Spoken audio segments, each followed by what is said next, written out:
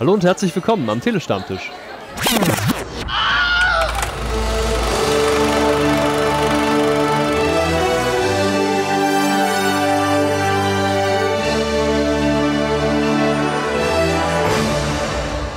Stellt euch vor, hier bei den Reviews zu What If würde endlich mal jemand moderieren, der weiß, wie das funktioniert.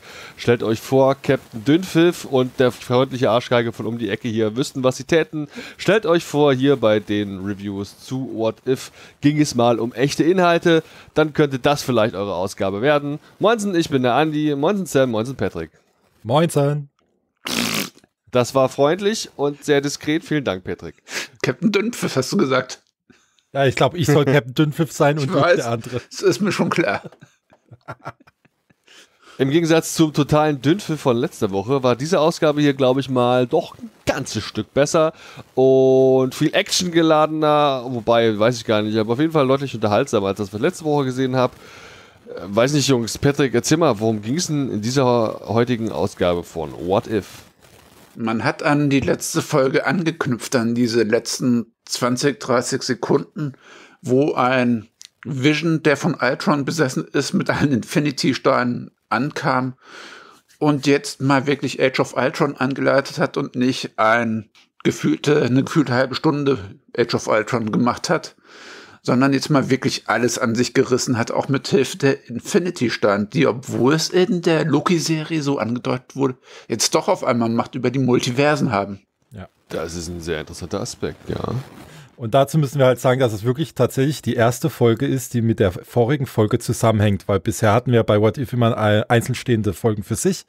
Und hier ist es tatsächlich, die knüpft direkt an die Folge davor an und die endet auch so, dass wir schon wissen, wie praktisch die nächste Folge weitergeht. Ja, das sagt man so einfach, aber ist es wirklich so? Die letzte Folge endete damit, dass sich in der Wüste bei Thor bei diesem Wohnwagen irgend so ein Portal öffnet. Es kommt eine Handvoll Ultrons raus und irgendwie auch unser einzig wahrer Ultron. Aber so einen direkten Bezug zu genau dieser Szene gibt es doch nicht in dieser Ausgabe. Nee, oder? wir haben Party Thor zum Beispiel nicht mehr, das stimmt. Ja, tatsächlich sind die ganzen Avengers außer unser Bogenbernd und Black Widow noch am Start, sind sie alle gestorben. Da gebe ich dir soweit recht, ja. Aber man kann ja auch sehen, in dieser Folge reiste sich ja die Infinity Stones an sich, weil ja hier Thanos zu mhm. Besuch kommt und Vision macht einfach einen kurzen Prozess mit ihm, nämlich er macht einen, einmal halbiert einen schön in der Mitte durch. Und in der letzten Folge, die zehn Sekunden, die wir jetzt schon angesprochen haben, sehen wir ja schon Vision, also beziehungsweise Ultron im, in Vision mit diesen Infinity Stones. Also ist das eigentlich schon so eine Foreshadowing praktisch für diese Folge jetzt gewesen. Ja, also ich sage nur, die Figur quasi, die taucht auf und es wäre durchaus möglich, dass jetzt diese Szene in der letzten Ausgabe irgendwie dann auch jetzt Teil von dem ist, was unser jetziger Ultron irgendwie erlebt hat und so, aber so einen direkten Bezug sehe ich nicht unbedingt. Das, also es könnte theoretisch auch zwei verschiedene Figuren sein, theoretisch. Was ich mir hier notiert habe, Tony Stark stirbt schon wieder in der Serie. Die Hälfte der Folgen, die er da war, ist er gestorben. Mindestens. Ja, das stimmt. Ich fand die Szene, die der Sam gerade angesprochen hat, aber eigentlich im Nachhinein auch ganz cool. Gerade so dieses, komm, lass mal eben kurz um Thanos kümmern. So sieht das aus. Das geht so direkt und das ist einfach mal direkt klar, wie man mit ihm umzugehen hat und so, das fand ich schon ganz schön gut. Vor allem, was ich nicht so ganz, wie er halbiert wurde, das war für so eine Kinderserie dann doch recht heftig. Ja, vor allem mhm. kurzer Prozess, ne? Nicht so lang bla bla bla, sondern. Kurz Frage nochmal an euch. Es gab doch meines Wissens hierzu auch wirklich eine direkte Comicvorlage, stimmt das? Ja. Ja, und da wurden teilweise wohl auch Bilder, die wir jetzt hier in dieser Episode sehen, auch aus den Comics relativ eins zu eins übernommen. Beispielsweise diese Flucht von Black Widow und Hawkeye aus diesem Tunnel von Hydra, wo dann mhm. diese quasi ganze Armee an Ultrons den hinterherfliegt. Das wurde wohl relativ exakt so aus den Comics übernommen. Stimmt das? Ich glaub, also ob ja. jetzt eins zu eins hundertprozentig übernommen worden ist, ja, aber es war schon sehr, sehr ähnlich, ja. Das ist vergleichbar mit dieser Zombie-Folge, mit diesem zombifizierten Captain America im Zug, weil die Szene gab es so auch im Comic-Heft, ja. Ja, aber auch die Szene mit T'Challa und den amputierten Beinen, die kamen auch so eins zu eins bei Marvel Zombies ja. vor. Richtig, genau. Ja, nice. Und wie hat Hawkeye nochmal seinen Arm verloren? Der wurde ihm abgeschossen. Das wurde tatsächlich, glaube ich, hier in der Folge nicht wirklich oder wurde nicht wirklich drauf eingegangen. Aber erinnert so ein bisschen an die, an die Winter Soldier-Thematik, ne? Vor allem, er nimmt dir dann auch im Prinzip so einen Winter Soldier Arm und Black Widow nimmt ein Red Guardian Shirt, also kein Captain America, sondern weil es in Russland ist, nimmt sein Red Guardian Schild. Aber was ich jetzt mal so nochmal, also das ist ja nun eine sehr actiongeladene Episode gewesen, es passieren viele Dinge, es gab eine Handvoll tolle Szenen, unter anderem ganz cool, wie man auch Hulk besiegen konnte, ist eigentlich total logisch, so müsste man es machen. Aber was ich ein bisschen komisch finde, wenn man ein zweites Mal drüber nachdenkt, ist so ein bisschen die Frage mit Solar.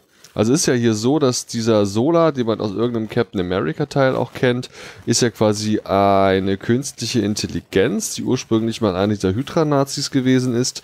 Und der hat seinen Geist quasi in so einen Computer kopiert irgendwie. Der Körper ist tot, aber diese Datenkopie seines Geist, seiner Seele existiert noch. Mhm. Und auch die wird ja in einem Film zerstört, aber zufälligerweise hat man da hier noch eine Kopie von exakt demselben auf ähnlichen alten Geräten mit einer komischen Matrix-Optik irgendwie in Sibirien in einem Keller in einem riesengroßen Keller und so. Also ist schon mal alles ein bisschen merkwürdig. Auch zu dem Zeitpunkt hätte man deutlich modernere Technik schon haben können und so gut sei es drum. Aber mir fällt das super schwer zu glauben, dass meine kleine geschrumpfte digitale Version von Solar, die vermutlich auf drei Disketten gepasst hat, in irgendeiner Form in der Lage sein soll, es mit dem großen Ultron aufzunehmen oder gar sowas vielleicht auch wie Jarvis, weißt du wie? Also das tue, tue ich mich ein bisschen schwer und ich tue mich generell auch schwer damit, dass es noch so ein Backup von Solar gab und so. Das muss man natürlich schlucken und hinnehmen, aber ich glaube, das fand ich nicht so prall. Vor allem, dass er sich dann auf die Seite der Guten stellt war für mich noch ein bisschen seltsamer. Armin Sola war ja immer einer, der die Leute eher verraten hat. Und jetzt hilft er den Guten mal. Das fand ich auch ein bisschen seltsam. Ich fand eher seltsam, dass es so ein eher moderner PC war, wo er jetzt auf einmal drauf war. Weil in dem Film, wie du schon gesagt hattest, Andy, da waren das ja noch so diese Bandspulen-PCs, wo ein PC selber die Recheneinheit so groß wie ein ganzer Raum war. Und hier ja. war es ein moderner PC mit Webcam und allem. Das waren so diese klassischen 80er Jahre Computer aus Wargames-Zeiten. Ja. Und jetzt ist es, ja doch, die Webcam, die war schon arg modernisiert. Und vor allem diese Technik, das war in etwa der Unterschied zwischen Tron 1 und Tron Legacy. Auch auf einmal so der Fortschritt, obwohl das Ding seit Jahrzehnten in Sibirien liegt. Nee. Ich fand ein Problem in dieser Folge war, das hatte Andi schon so leicht angeschnitten, und zwar Hulk und unsere ganzen Helden, die ja richtig mächtig sind, die fallen als erstes und so wie unser Bogenbernd und Black Widow, die eigentlich keine Superkräfte haben, die schaffen das dann auf einmal gegen Ultron anzukommen. Und später sehen wir ja noch mehrere Planeten wo Ultron gerade so mit dem Fingerschnups mal kaputt macht und dann kommt Captain Marvel und die schafft es auch nicht, ihn zu besiegen, aber Black Widow und Hawkeye, die leben trotzdem noch und, und schaffen es dann irgendwie doch. Vor allem, dass er so ganz nebenbei Ego, The Living Planet, also das war ja nicht nur ein scheiß Planet, sondern wirklich eine künstliche, äh, nicht eine künstliche Intelligenz, sondern eine intelligente Lebensform. Mhm. Da hätte es zumindest zu einem Kampf kommen müssen und nicht Ö und Bumm. Ja, das ist, das, das ist der Punkt, da kann man mit Sicherheit auch jetzt stundenlang wieder diskutieren, was wir jetzt hier an der Stelle natürlich nicht machen, aber diese Kräfteverhältnisse von den einzelnen Helden und, und Gegner ist hier wieder irgendwie total durcheinander gewürfelt. Warum ist ein Hulk schafft es nicht und, und eine Black Widow schafft es ohne Probleme, 50 von diesen Ultron-Wesen kaputt zu machen? Ja, aber auch Bogenbernd, der mit einem Arm erledigt eine halbe Armee. Wobei ich generell sagen muss, dass die Szenen ganz schön cool fand. Also das gerade ja. diese Öffnungsszenen, dieses Action-Ding, wie die halt eben die ganzen Drohnen kaputt machen, das sieht schon echt klasse aus. Und ich würde jetzt mal zugunsten der Logik davon ausgehen, dass die großen Avengers einfach überrumpelt wurden. Also wenn die es schaffen, keine Ahnung, Hulk zu einem großen Flabber zu machen und so, dann wird das irgendwie überraschend gekommen sein. So ein Tony Stark ist ja jetzt auch nicht doof. Das würde ich jetzt, ohne es gesehen zu haben, einfach mal unterstellen, dass da vielleicht, ja, also dass da einfach keine Vorbereitungszeit gewesen ist oder so. Ja, von, von der Inszenierung her äh, streite ich hier jetzt auch gar nichts an. Ich fand die Action richtig gut. Der, diese Folge hat mal wieder wirklich richtig Spaß gemacht, im Gegensatz zu der Folge davor. Und da bin ich völlig bei dir. Die Action war passend. Es hat überall mal Krachboom, überall gab es was zu sehen und so. Da, da bin ich völlig bei dir. Ich würde sogar sagen, es ist vielleicht der kurzen Laufzeit der Folgen geschuldet, dass man das nicht alles stimmig erklären konnte. Trotzdem hm. fand ich das cool zu wissen, äh, was für eine Bedrohung Ultron aufgebaut wurde, das habe ich in Age of Ultron nicht gefühlt. Ich sah Age of Ultron nur auf ein Angeteasere, auf alle anderen möglichen Marvel-Filme. Hier? Und das ist so ein Punkt, Entschuldigung, dass ich dich unterbreche, das ist so ein Punkt, äh, kannst du dich noch dran erinnern, äh, bei Road to Falcon and the Winter Soldier, wo wir über Age of Ultron die Thematik hatten, wo ich gesagt habe, Ultron ist eigentlich ein richtig guter Gegner. Der taucht nicht nur kurz auf in den Comics, sondern der ist wirklich eine dauerhafte Bedrohung für die Avengers und hat auch viel auch inszeniert oder, oder integriert oder, nee, wie sagt man? Äh, Intrigiert? Ja, genau. Mhm. Und so und so Sachen. Und das wurde in dem Film einfach nicht dargestellt. Deswegen hat man den auch als Bösewicht gar nicht wirklich so ernst genommen. Und hier in dieser Folge zeigen sie eigentlich mal, was Ultron wirklich drauf hat. Nein, Ultron wurde super eingeführt, aber die Wirkung ist halt verpufft, indem man auf einmal zu so einem Erklärbär wurde. Ja. dass das halbe MCU noch in gewisse Bahnen lenken musste, aber das war viel Geteasere und er als Bedrohung ist relativ schnell verpufft. Wen wir jetzt hier noch gar nicht erwähnt hatten, und das müssen wir unbedingt, weil das ist so ein bisschen seine Folge insgesamt bis jetzt, ist der Watcher. Denn der kann erstmalig wirklich interagieren mit den Figuren, weil er ja hier offensichtlich den Moment hat, wo er denkt, hier, das geht so nicht weiter mit Ultron, ich brauche jetzt irgendwie Hilfe. Dann macht er einen auf Kamehameha, hat plötzlich einen neuen Anzug an oder kann halt eben da zum Super Saiyan werden und gegen Ultron kämpfen. Das fand ich ganz cool. Die Figur selbst lernen wir überhaupt erstmalig etwas besser kennen. Also zumindest Leute wie ich, die eher so jetzt, sag ich mal, die Serien kennen und die Marvel Comics nicht so im Detail. Und das fand ich ganz nett und interessant und so. Und er ist ja irgendwie auch sehr mächtig und seine Kraft scheint mehr aus seinem Willen zu kommen und weniger von ja wirklich so Kräften selbst. Also es ganz, weiß ich nicht, ob ihr da mal vielleicht ein bisschen Licht ins Dunkel bringen könnt. Aber wie fandet ihr denn gerade diese Interaktion mit Ultron, dieses Ding, Übergang zwischen den Welten, dieses quasi Durchkämpfen durch verschiedene Dimensionen und ja auch Orte? Wie hat das auf euch gewirkt, Sam? Also ich war optisch war ich eigentlich voll drin. Das hat mir richtig Spaß gemacht, da zu sehen, wie sie durch diese, ja, sie, sie stellen es ja so ein bisschen da wie Kristalle, die praktisch zerspringen, wo er in die anderen Dimensionen schauen kann. Und das hat mir schon gut gefallen. Auch Uatu, dass der endlich mal hier interagiert und nicht nur im Hintergrund steht und zuschaut, fand ich auch richtig stark. Ich finde, man kennt ihn aus den Comics ein bisschen stärker. Er ist ja ein mächtiges Wesen eigentlich in den Comics und dass er hier jetzt zu diesem, wie du schon sagst, Son Goku Kamehameha Wesen wird, das fand ich ein bisschen befremdlich, sage ich mal. Ja, das war nicht nur das. Ich finde, ich mag Uatu. Er ist halt wirklich hier ein bisschen entkräftet, muss man sagen. Weil unser Uatu, den wir aus den Comics kennen, der hätte sich nicht so leicht überrumpeln lassen. Mhm. Aber zumindest wurde jetzt die Frage erklärt, wieso den denn niemand sieht. Er hat wirklich so eine Art Wahrnehmungsfilter. Er hat ja auch versucht, mit Hawkeye und mit Black Widow in Kontakt zu treten. Die haben ihn nicht wahrgenommen, aber bestimmte Wesen, die quasi, nennen wir es mal, die sie Lebenbrille anhaben, sehen ihn dann auf einmal und können mit ihm interagieren. War nicht der dunkle Dr. Strange aus der vierten Folge auch der, wo ihn wahrgenommen hat in der Folge? Ja, aber er hat auch diesen Wahrnehm äh, diese Wahrnehmungs diesen Wahrnehmungsfilter durch den einen Stein da. Ja, genau, genau. Also auch er hat sich ja wirklich in andere Sphären durchgekämpft und er ist zu einer anderen Einheit aufgestiegen, ähnlich wie Ultron jetzt, kann er ihn wahrnehmen. Aber Normalsterbliche, egal ob er da im Hintergrund steht 50 Meter groß, die haben ihn nicht wahrgenommen. Aber alle größeren Mächte kriegen ihn anscheinend mit. Ja, ist interessant generell, dass jetzt hier auch dieser, nennen wir ihn mal, böse Doctor Strange überhaupt noch am Start ist. Ich hatte am Ende dessen Folge das Gefühl, der wäre quasi tot oder aufgelöst ins Nichts. Und man muss generell nochmal so ein bisschen in den Raum werfen, auch so wie das jetzt, sage ich mal, alles auch weitergehen könnte im großen Finale, das uns ja dann nächste Woche erwartet. Und jetzt sind ja hier unsere Avengers allesamt platt und ehrlich gesagt glaube ich immer noch nicht, dass der Tor aus der letzten Ausgabe derselbe Tor sein soll, der jetzt hier mit den Avengers tot am Boden liegt. Ich denke, das sind unterschiedliche Versionen.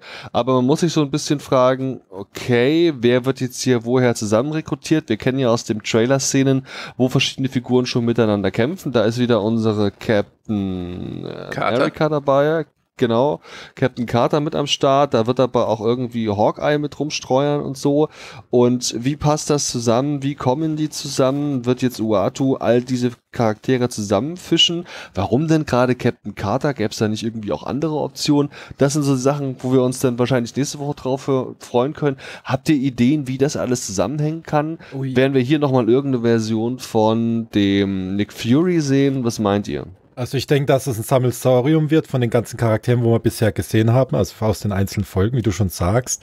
Aber so eine richtige Vorstellung, wie genau das jetzt inszeniert wird, oder was, keine Ahnung. Also kann ich auch jetzt nicht wirklich eine Voraussagung tätigen hier. Ich denke, es wird ein riesiges Crossover, aber ich denke auch, das wird ein sehr überhetztes Crossover. Wir haben jetzt nur noch 30 Minuten. Dass da jetzt alles zusammenpasst, das glaube hm. ich nicht. Ich glaube, wir werden noch mal mit einem richtig schön dicken Cliffhanger entlassen. Vielleicht sogar gerade, als sich diese neuen zusammengewürfelten Multiversums Avengers sammeln, dass es dann quasi einen Cliffhanger für Staffel 2 gibt. Vermute ich nämlich auch, ja. Ja, von meiner Seite aus hätten wir so ziemlich alles gesagt. Ich freue mich ein bisschen auf nächste Woche. Deutlich mehr noch, als ich mich gefreut habe nach dem Ende der Episode der letzten Woche, die ja wirklich Murks war. Mhm. Und ich wäre soweit durch mit meinen Punkten. Wie sieht's bei euch ich aus? Ich habe noch zwei Details. Beim mhm. einen wundert es mich, dass Sam das nicht erwähnt, als er durchgeprügelt wird, also Uatu von Ultron. Da sehen wir einen Captain Steve, nee, einen Präsidenten Steve Rogers. Das fand mhm. ich ein schönes Detail. Und wir sehen technisierte Pyramiden. Das könnte auch ein Verweis auf Ramatut sein, so eins der Ichs von unserem Bösewicht, den wir auch aus Loki kennengelernt haben. Kang den Eroberer, da war Ramatut eins der vielen abgespalteten Ichs. Ja, und dann gab es auch noch eine Version, wo praktisch Wakanda New York war und so. Ja, das habe ich alles wahrgenommen, aber das habe ich jetzt nicht hier so reinfügen wollen. Stimmt schon. Nice. Ja. Und dann ist der Moment gekommen, wo wir, glaube ich, mal eine kurze Bewertung abgeben können. Ich denke, was vergeben wir denn? Lass doch mal Disketten vergeben. Im Rahmen von, ja, Sola einfach. Und, oder Backups. Backups, Backups ist noch da, weil das Backup-Ding, das ist echt ein bisschen hohl einfach. Das ist wirklich ein Logikproblem. Da komme ich nicht so drüber hinweg. Ich gebe dieser Folge dreieinhalb von fünf Backups. Sie war sehr unterhaltsam, kurzlebig, actiongeladen. Nicht ganz so hohl wie die letzte aber ich bin so ein bisschen inzwischen auf dem Trip, auf dem Stu auch ist, denn ich höre immer sehr fleißig eure Reviews. Ich weiß genau, was der Stu so sagt. Und das, also die nutzen halt die What-If-Idee zu wenig. Da wäre so sehr viel geilerer Scheiß möglich und das machen sie halt irgendwie. Das, die müssen halt immer im gewissen Rahmen bleiben. Die können nicht zu krass abweichen, nicht zu besonders werden. Es muss schon irgendwie ein gewisses Schemata, ein gewisses Muster bleiben, wie es scheint. Und das finde ich schade. Aber ich freue mich drauf, dann diese Figuren in Teilen dann auch in dem regulären MCU zu sehen. Ich gehe davon aus, dass wir den bösen Doctor Strange beim nächsten Spider-Man bekommen. Ich gehe davon aus, dass wir auch Captain Carter irgendwie irgendwo nochmal bekommen werden. Und sei es nur ein kleiner Auftritt oder irgendwie ein Verweis oder was auch immer. Darauf freue ich mich, aber wie gesagt, dreieinhalb von fünf Backups und ich freue mich aufs Finale. Patrick, wie sieht's bei dir aus? Man muss zwar ein paar Logiklöcher schlucken bei dieser Folge, aber an sich fand ich das Paket äh, schön stimmig, eine deutliche Steigerung im Vergleich zur letzten Folge, die absoluter Murks war. Und Ultron endlich mal als Bedrohung zu sehen, wie wir es uns erhofft haben, das war schon richtig gut. Und auch Uatu in Aktion. Also ich war deutlich zufriedener mit der Folge. Ich hatte meinen Spaß. Ich gebe 3,75 von 5 Disketten, Backups und freue mich schon aufs Finale, auch wenn ich glaube, ja, das wird nicht so groß ausfallen, wie wir es uns erhoffen. Und was sagt unser Super Saiyajin Sam? Äh, Kamehameha. Nein, ich muss sagen, wir haben ja angefangen, die What If-Serie zusammenzuschauen. Wir waren ja auch die, wo die ersten drei Folgen gesehen haben. Und da hatten wir schon ein bisschen Potenzial gesehen. Und jetzt muss ich zustimmen, nachdem wir schon fast zu Ende sind mit der ersten Staffel, dass, ja, man hätte mehr draus machen können. Da ist schon richtig.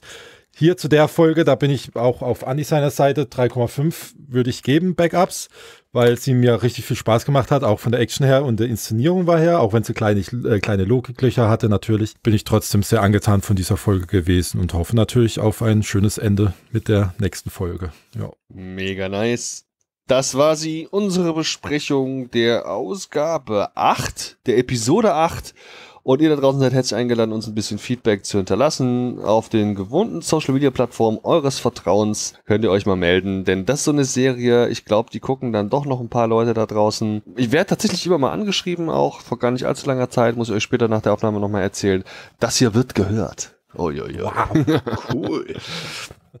cool, Jungs, hat mir Spaß gemacht. Bis zum nächsten Mal. Tschö. Ciao. Ciao, ciao. Sehr geehrte Damen und Herren, wertes Publikum, liebe Hörende, vielen Dank für eure Aufmerksamkeit und Zeit. Ich hoffe sehr, euch hat gefallen, was ihr gerade gehört habt. Wir, die Redaktion des Telestammtisch, betreiben ein semi-professionelles Podcast-Projekt zum Selbstmitmachen. Also meldet euch bei uns, wir beißen auf. Außerdem freuen wir uns immer über Feedback via Social Media und E-Mail sowie euren finanziellen Support. Ebenso frohlocken wir förmlich über Bewertungen auf den gängigen Podcast-Plattformen. Wer möchte, darf uns gern immer und überall empfehlen. Alle relevanten Links findet ihr in den Show Notes. Vielen Dank und bis zum nächsten Mal. Euer Andi.